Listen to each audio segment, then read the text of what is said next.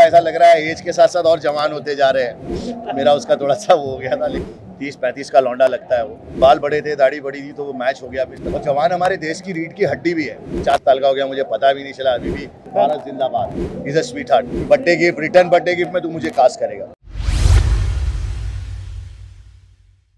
Guys मैं हूँ दामनी और आप देख रहे हैं फ़र्स्ट इंडिया फिल्मी एक्टर एजाज खान का कैरेक्टर कैसा है अमावस्या में? और वो इसको लेकर कितने ज़्यादा खुश हैं और पलाश संग उनकी दोस्ती कैसे हुई और उनकी जर्नी कैसी रही ये हमारे साथ एक्सक्लूसिव बातचीत के दौरान उन्होंने बताया। क्या कुछ कहा एक्टर ने? आइए आपको सुनाते हैं। सर सबसे पहले तो भारत 24 में आपका स्वागत है। Thank you so much Bharat जिंदाबाद। सर जैसे कि अभी पलाश जी का बर्थडे चल रहा है तो उसका उसके लेके आप सबसे पहले क्या कहना यार पलाश एक मेरा बहुत अच्छा दोस्त है बहुत पुराना दोस्त है और पचास साल का हो गया मुझे पता भी नहीं चला। अभी भी तीस पैंतीस का लौंडा लगता है वो।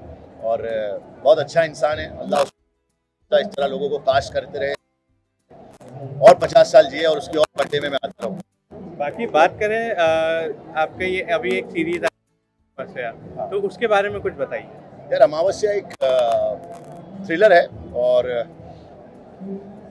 बहुत ही डिफरेंट सब्जेक्ट है जिसमें मैं सरदार प्ले कर रहा हूँ। बाकी की स्टोरी तुम देखोगे तो समझ में आएगा।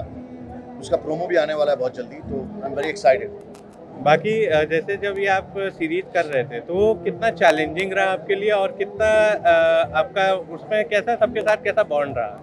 यार चैलेंजिंग बहुत रहा क्योंकि सरदार प्ले करना था और मेरे बाल बड़े थे दाढ़ी बड़ी थी तो वो मैच हो गया। अभी सरदार मेरे काफ़ी दोस्त भी है तो एक कैरेक्टर प्ले करके बहुत मज़ा आया। बाकी नया डायरेक्टर था अक्षय बहुत अच्छा टैलेंटेड डायरेक्टर है।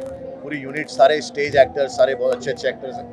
मज़ा आया लोगों के साथ काम करके बाकी आपकी और पलाश जी की दोस्ती के बारे में कुछ बताइए। यार पलाश और मैं बहुत पुराने दोस्त हैं। Is a sweetheart I love बाकी, कोई अ, कोई मोमेंट आपका उनके साथ का कोई जो आप शेयर करना चाहो? एक में बहुत बड़े रोल में मुझे कास्ट किया था उसने और फिर दूसरे किसी को कास्ट कर लिया उसने। मेरा उसका थोड़ा सा वो हो गया था लेकिन अभी Palash birthday gift return birthday gift में तू मुझे कास्ट करेगा।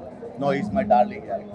बाकी बात करें जैसे कि आपकी जवान मूवी आई है तो उस जवान मूवी के बारे में आप क्या कहना चाहोगे? शाहरुख ऐसा लग रहा है एज के साथ साथ और जवान होते जा रहे हैं। और जवान हमारे देश की रीढ़ की हड्डी भी है। जवान और किसान ये दोनों हमारे देश की रीढ़ की हड्डी है। फ़िल्म चली देश का भला हुआ लोगों को एंटरटेनमेंट मिला इससे ज़्यादा और क्या चाहिए? बाकी जाते जाते आप अपने फैंस को और सभी को लेके क्या मैसेज देना चाहोगे? यही कहूँगा कि keep loving me and if I hurt somebody I am so sorry I love you all and I will keep always loving you please I need your blessing and love दुआओं में याद रखना और अल्लाह के ज़िक्र का जुबा पे सवाल रखना thank you so much thank you so much bill Ajaz Khan कैसे लगते हैं आपको और उनके इन बातों पर क्या है आपका रिएक्शन हमें कमेंट सेक्शन में जाकर कमेंट करके बताना ना भूलें। लेटेस्ट अपडेट्स के लिए देखते हैं फ़र्स्ट न्यू फिल्मी। चैनल को लाइक शेयर सब्सक्राइब करना ना भूलें।